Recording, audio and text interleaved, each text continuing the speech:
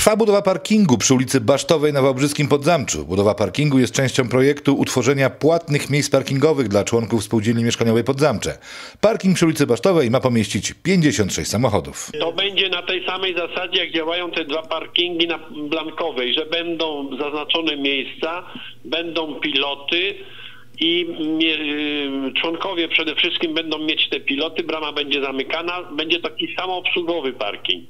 Mieszkańcy Podzamcza od lat borykają się z brakiem wolnych miejsc. Nie wszyscy zadowoleni są z faktu, że nowe parkingi powstaną w miejscach, gdzie parkowanie do tej pory było darmowe. Koszt miejsca parkingowego dla członków spółdzielni mieszkaniowej Podzamcze wynosić będzie 30 zł.